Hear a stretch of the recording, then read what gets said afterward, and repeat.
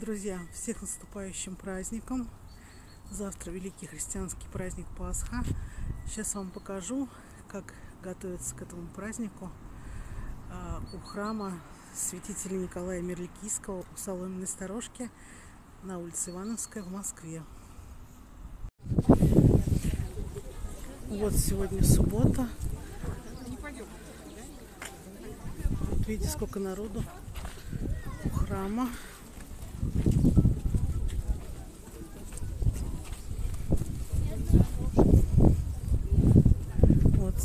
освещение продуктов и куличей.